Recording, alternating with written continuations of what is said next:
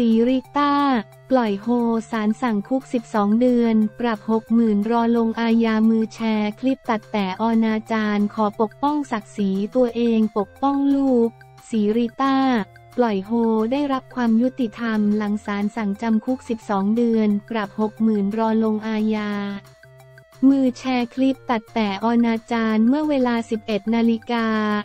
วันที่ 25 ตุลาคม 66 ที่ศาลอาญารัชดาพิเศษกรณีนางสาวสีริต้าเจนเซนนรงเดชนางเอก ชื่อดังยื่นฟ้องกรณีมีบุคคลนำคลิปวิดีโอที่ถูกตัดต่อเชิงอนาจารเผยแพร่ในสื่อออนไลน์อย่างแพร่หลาย เป็นเหตุให้ต้องเสื่อมเสียชื่อเสียง และได้รับความเสียหายเมื่อวันที่ 7 กรกฎาคม 2564 โดยวันนี้นางสาวศีริต้าพร้อมด้วยนายกรณรงเดชสามีและนางสาวสรัญญาหวังสุขเจริญหรือทนายนิด้า เดินทางมาศาลเพื่อฟังคำพิพากษาหลังดำเนินคดีมา 2 ปี 3 เดือน 18 วันด้านทนายนิด้ากล่าวว่าสำหรับคำพิพากษาของศาลในวันนี้ ตามความผิดพรบคอมพิวเตอร์หมิ่นประมาทด้วยการโฆษณาและความผิดละหุโทษศาลพิพากษาว่าจำเลยมีความผิดตามพระราชบัญญัติว่าด้วยการกระทำความผิดเกี่ยวกับคอมพิวเตอร์ มาตรา 14 4 5 ลงโทษจำคุก 1 ปีและปรับ 20,000 บาท ตามประมวลกฎหมายอาญามาตรา 328 ลงโทษจำคุก 1 ปีปรับ 100,000 บาท ตามประมวลกฎหมายอาญามาตรา 397 ลงโทษปรับ 1,000 บาท รวมโทษจำคุก 2 ปี ปรับ 121,000 บาท ทั้งนี้จำเลยให้การรับสารภาพลดโทษกึ่งหนึ่งคงเหลือจำคุก 12 เดือน และปรับ 6,500 บาท โทษจำคุกให้รอลงอาญาไว้ 2 ปี เนื่องจากจำเลยไม่เคยกระทำความผิด และจำเลยยังได้วางเงินชดใช้ค่าเสียหายก่อนที่ศาลจะมีคำพิพากษา โดยให้รายงานตัวพนักงานคุมประพฤติสี่ครั้งใน 1 ปี ทำงานบริการสังคม 24 ชั่วโมง และให้จำเลยลบทำลาย ข้อความอันเป็นการหมิ่นประมาทโจทย์ ให้โฆษณาคำพิพากษาในหนังสือพิมพ์ 15 วัน และโฆษณาคำขออภัยผ่านทางเฟซบุ๊กของโจทย์เป็นเวลา 30 วัน พร้อมกับให้จำเลยชดใช้ค่าสินไหมทดแทน 1 0 0 0 0แบาท พร้อมดอกเบี้ยตามกฎหมาย ทั้งนี้คู่กรณีมีจำนวนหนึ่งคน และเป็นการส่งต่อข้อมูลและสื่อลามกอนาจารโดยคู่กรณีไม่ได้เป็นคนตัดต่อคลิปขึ้นมาเอง ซึ่งหากใครติดตามคุณสีริต้าจะทราบว่าคุณสีริต้ามีประเด็นเรื่องนี้มานาน และถูกกล่าวหาว่าไปปรากฏอยู่ในคลิปลามกอนาจารทั้งๆทที่มีการออกมาปฏิเสธว่าไม่ใช่คุณสีริต้า แต่จำเลยก็ยังมีการส่งต่อก็ยังถือว่าเป็นความผิดเช่นเดียวกัน ทั้งนี้ตนเองได้พูดคุยกับคู่กรณีถึงสาเหตุที่ทำ ซึ่งทางคู่กรณีก็ตอบว่าไม่ได้ตั้งใจทำไปด้วยความคึกขนอง ซึ่งวันนี้พอได้รับหมายศาลก็สลดกันทุกคนตนเองอยากให้คนที่ทำแบบนี้ตระหนักได้แล้วอย่างคุณริต้าเองวันนี้ที่ต้องมาศาลก็ต้องเสียทั้งเวลาทั้งเงิน แต่ก็เป็นสิ่งที่จำเป็นต้องทำด้านนางสาวสีริต้าเจนเซนกล่าวว่าวันนี้ตนเองต้องขอขอบคุณผู้พิพากษามาก ๆ และขอบคุณทนายนิด้าที่วันนี้ตนเองได้รับความเป็นธรรม ยอมรับว่าตนเองลำบากใจ เพราะไม่อยากทำให้ใครเดือดร้อน และไม่ได้ทำด้วยความโกรธแค้น แต่ตนเองไม่สามารถเพิกเฉยต่อเรื่องดังกล่าวได้ ตนเลยตัดสินใจดำเนินคดีเพื่อปกป้องชื่อเสียงศักดิ์ศรีของตัวเอง ปกป้องครอบครัว โดยเฉพาะลูกตนเองไม่อยากให้ใครเข้าใจผิดในสิ่งที่ไม่เป็นความจริงที่เข้ามาบั่นทอนชีวิตของตนเองและชื่อเสียงเป็นอย่างมาก ตนอยากให้เรื่องนี้เป็นกรณีตัวอย่างเป็นบทเรียนว่าการกระทำแบบนี้สามารถเข้าไปทำลายชีวิตคนอื่นได้จริง ๆ อยากให้คิดก่อนทำ ไม่ว่าจะด้วยความตั้งใจหรือไม่ตั้งใจหรือด้วยความคึกขนองอะไรก็ตาม อยากให้ฉุกคิดว่ามันจะไปสร้างผลกระทบต่อชีวิตคนอื่น และทำลายชีวิตใครหลายๆ คนตามที่เราเห็นข่าวทุกวันนี้จากอาชญากรรมไซเบอร์ ที่ทำลายทั้งชื่อเสียงและทรัพย์สินอย่างตนเองเป็นต้นเรื่องแบบนี้มันไม่ควรเกิดขึ้นตนเองเลยอยากให้สังคมรู้ว่าบ้านเมืองมีกฎหมายมีศาล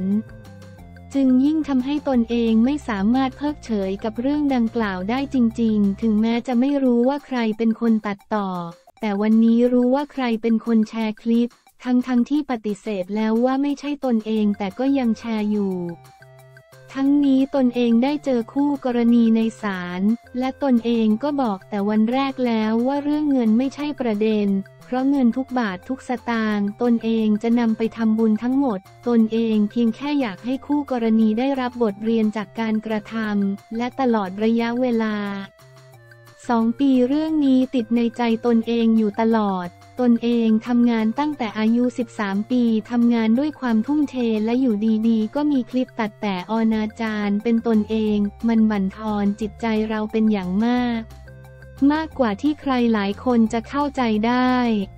โดยเฉพาะวันนี้ตนเองมีลูกไม่อยากให้ลูกโตมาแล้วเกิดคำถาม ตนเลยอยากให้มันชัดเจนตั้งแต่วันนี้ว่า มันไม่ใช่เราทั้งนี้ยอมรับว่าเรื่องนี้ทำให้ตนเสียโอกาสเสียชื่อเสียง สร้างความเดือดร้อนสุดท้ายนี้อยากฝากไปถึงคนที่ทำแบบนี้ว่าทุกอย่างมันมีผลกระทบ และยอมรับว่าเรื่องนี้มีผลกระทบต่อจิตใจเป็นอย่างมาก ด้านนายกรกล่าวว่าวันนี้ดีใจกับภรรยาและขอบคุณกระบวนการยุติธรรมเพราะเป็นสิ่งที่ภรรยาทุกใจหนักใจมาโดยตลอด หากหลายคนจำได้ตอนที่เกิดเรื่องดังกล่าว เป็นตอนที่ภรรยากำลังตั้งท้อง ซึ่งเป็นเรื่องที่กระทบจิตใจอย่างรุนแรง และตลอดระยะเวลาที่อยู่ในวงการวางตัวดีมา โดยตลอดไม่เคยมีข่าวเสื่อมเสียใด ๆ วันนี้จะได้เคลียร์ให้ชัดว่าผู้หญิงที่อยู่ในคลิปเป็นการตัดต่อไม่ใช่ภรรยา และถือว่าได้เคลียร์ชื่อเสียง 100%เปอร์เซนต์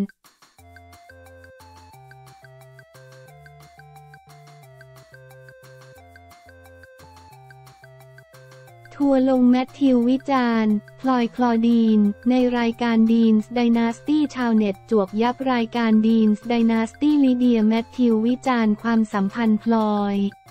ตอนยังคบคลอดีนไม่ยืนยาวต่างเกินไปอยากให้พลอยมีลูกดีนส์ไดนาสตี้รายการเรียลลิตี้เบื้องหลังชีวิตครอบครัวคนดัง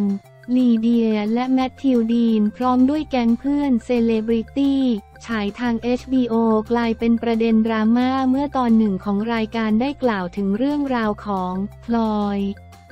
เชอร์มานขณะที่ยังคบกับคลอดีนเป็นฉากที่แมทธิวลิเดียและแอรินได้พูดถึงชีวิตรักของพลอยและต้องการให้ใครสักคนไปเตือนเธอดีนส์ไดนาสตี้ดีนไดนาสตี้แมทธิวได้ถามพลอยว่าจะแต่งงานไหม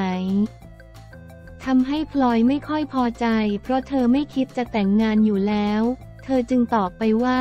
เขาเด็กไปและพลอยก็อายุเกินจะคิดเรื่องพวกนี้แล้ว เอาแค่ความสุขก็พอแมทธิวจึงถามต่อว่า มันมีโอกาสที่จะเป็นความสัมพันธ์ระยะยาวไหม พลอยตอบว่า ตอนนี้ก็อยู่ด้วยกันเกือบสองปีแล้ว ถามว่ามีโอกาสที่จะดีกว่านี้หรือแย่กว่านี้ไหม มันก็มีอยู่แล้วไม่มีอะไรแน่นอน ซึ่งพลอยยังพูดอีกว่าเรื่องนี้มันชีวิตใครชีวิตมัน พลอยมีทางเดินของตัวเองแมทธิวยังกล่าวต่อไปอีกว่า อยากเห็นพลอยมีลูก ซึ่งทำพลอยแสดงออกชัดเจนว่าไม่ค่อยพอใจ เธอกล่าวตัดบทว่า ไม่ไม่ให้มันจบที่บุญยศักดิ์นี่แหละ หลังจากรายการออกอากาศไปก็ทำชาวเน็ตตั้งคำถามว่า สมควรจะนำมาออกอากาศไหม เพราะทั้งคู่ก็เลิกกันแล้วเรื่องนี้คลอดีนรู้ด้วยไหม ไม่นับกับคำพูดในรายการที่ไม่ให้เกียรติพลอย ทั้งการที่พูดเรื่องแต่งงานและมีลูกในขณะที่ตอนนั้นพลอย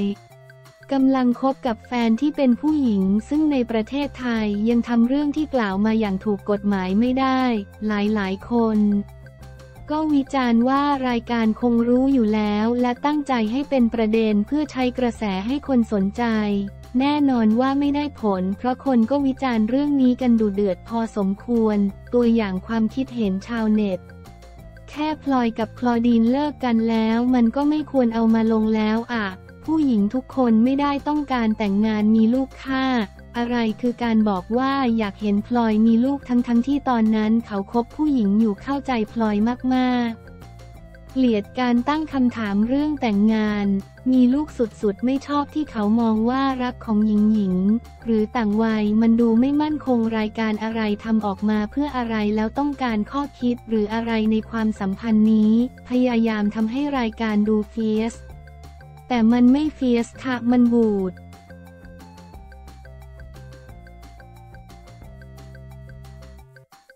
yeah.